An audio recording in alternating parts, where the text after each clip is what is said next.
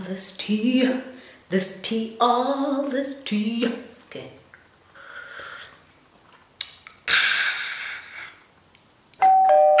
Hey everybody, welcome back to the channel. As you can see with the tea, with the tea, with the tea, yeah, yeah, it's it's all about it. We, it's another real talk video. Hey, this one is a little bit more on the serious side.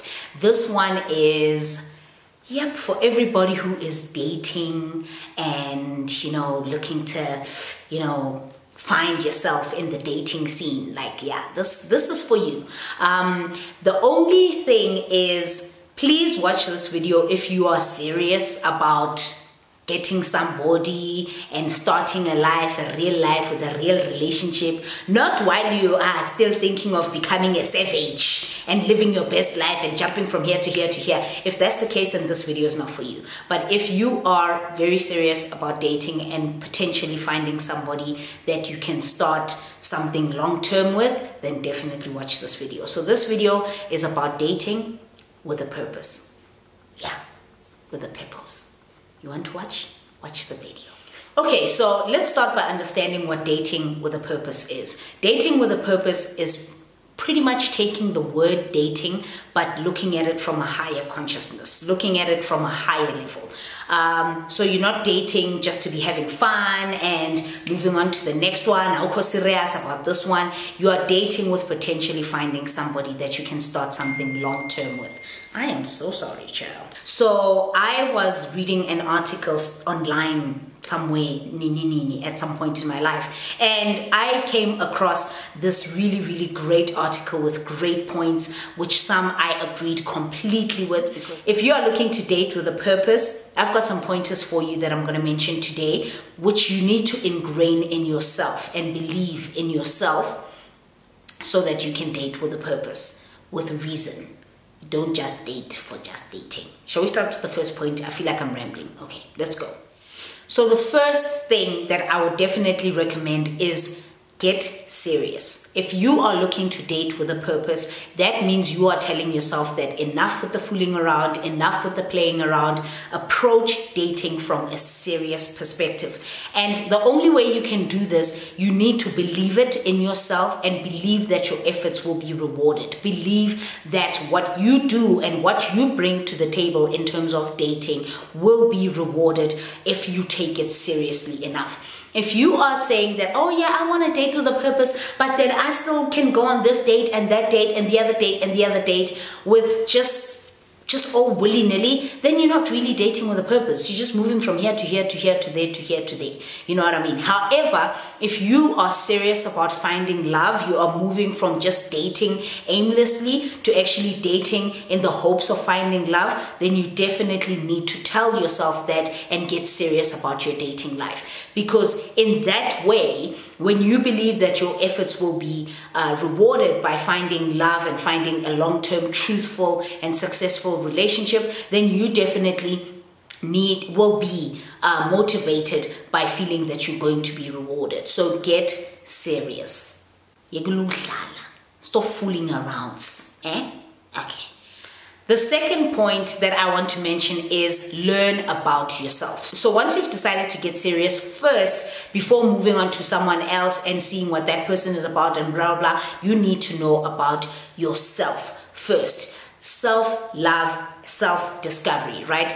Self-love is the very first romance. You need to discover what it is that you want in terms of dating, in terms of a partner, in terms of who you are, what you will allow, what you will tolerate, what you want from a partner, a long-term partner, or from love, right? So you need to first learn those key integral points before you just decide that no, I want to learn about this person, what, what, what, what. Do you know who you are? Do you know what you want from love? Do you know? You feel me though? I'm just so you need to learn about those things first. Very, very, very important. The next point is define your ideal mate. Now, it may seem cliche to say pros, cons, what you want, what you don't want, what you want, what you need. But it is very, very important to define who your ideal mate will be. Like these are the points that I'm getting from this article that I read and I really feel like they apply to me because I look for things like that. You need to define what you want. So what is it? Write down on a piece of paper, what do I want from a partner and what do I need? Do I need financial these these are just examples do i need financial security do i need love do i need trust do i need loyalty do i need um you know somebody who's good looking or is there a want you know? What do i want? I want him to be buff. I want him to to make a six figure salary. I want him to da da da. These are wants. You might not get chances are you will not get everything you want in terms of wants and needs in one package we don't live in that kind of world, okay? It's not like that in life. But once you know what you want in an ideal mate, it becomes very easy to narrow down the people that you are dating so that you can see that, mm, nah, you won't quite cut it. Maybe you, hmm, okay, I'm willing to look overlook this and I'm willing to overlook that and blah blah blah. You need to define your ideal mate before you go ahead pursuing and looking for that ideal mate because you need to know what you're looking for. So if you go out there aimlessly thinking, ah, you know what, nizobona pambili, me I'll see by forward. I just want to, I just want to find somebody I can love without really knowing what you want from that person and what you want from love, then I guess shemsos. First, define what you want from a person. Uh, point number four is, could you please let go of the past?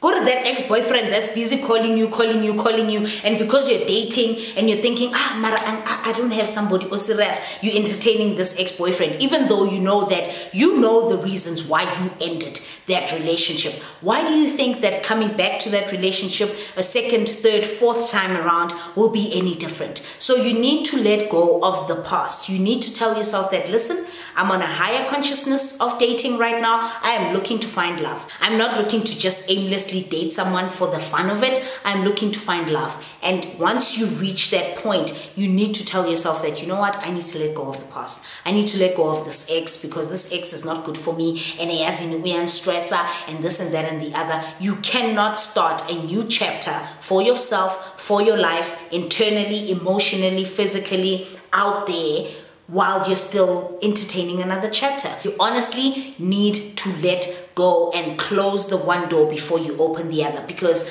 at the end of the day then you're sitting with 15,000 people who are calling you. And how do you get serious about dating? How are you then dating with the purpose of finding love or finding long-lasting romance or relationship with someone new if you're still entertaining your thoughts from the past?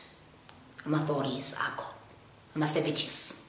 No, don't do that. Let go of the past and tell yourself that you are starting clean on a fresh slate and then get your, get it going, get it going, get it going, get it going. Eh. After you've decided to let go of the past, go on dates. Girl, there is nothing wrong with going on dates. My sister loves to say to me that, listen, when someone is going on a date, they're going on a date, they're getting themselves a free meal, a free Starbucks, a free whatever. You're going on a date, you're getting to know someone. And then you're going on a date the next week and you're getting to know someone else. You are dating. It doesn't necessarily mean you're spreading yourself too thin. No, you're not. You're dating in the purpose of finding what will work for you. I mean, dating one person doesn't necessarily mean that that's what will work for you like we said, you have a list, right, of your perfect ideal mate by this time. You have that list. So when you look at that list and you look at this one person that you're dating, you think, but this person doesn't even take like half, half of this list then why restrict yourself to just dating that one person? Go on multiple dates, get out, go out with your friends, meet people. If your friends are like, let's go to Maboneng, let's go to, uh, you know, wherever, let's go to Rockets, let's go to wherever. Go out, dress up, feel good, always always tell yourself that you are out there and you're looking for love and you're looking for it the right way don't just you know. But if you go on dates that's when you will realize that okay this will work for me or this won't work for me or this will work for me or this won't work for me. But you will only know that if you go on multiple dates and not really just one date with one person every two three weeks. I live your life. You're not being a hoe. You're not being a thotty. You're not being a nothing. You're just going on a date today and two days later, and then three days later. You are, as long as you just keep things in your pants. Alrighty, alrighty. Go on dates, meet people, get the feel of what it is that you want, and then from there you'll narrow down that, okay, this one is the one that seems to work for me. And then live your best life. Then the last point I want to mention is adopt a positive mindset and persevere. Now, these points are all, I'm not even taking credit for this. These points are all coming from here and from this article that I read, which is on my phone right now. But these points are all coming from there and I agree with them. That's why I want to share this with you. So adopt a positive mindset and persevere. I know dating can be so exhausting.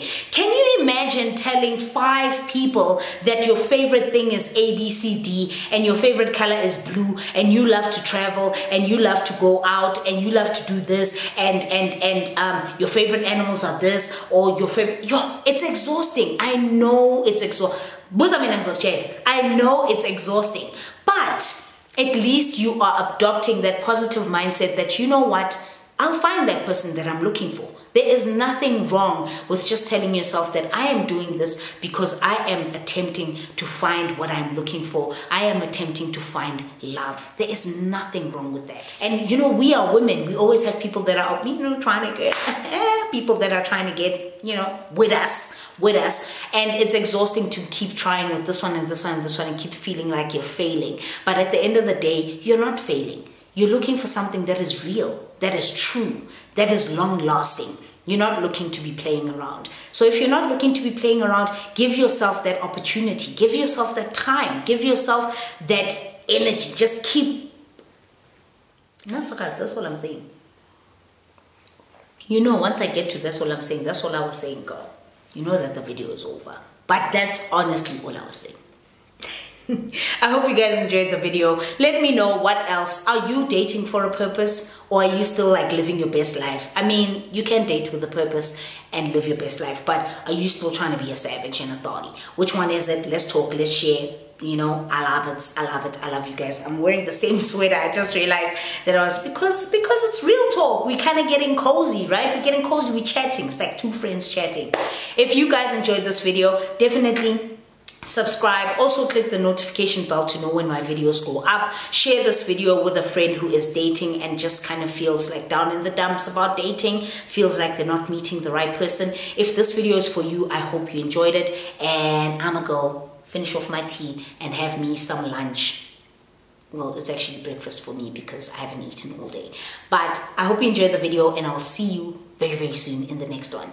Take care. Date with a purpose and i hope you find the love that you're looking for Bye.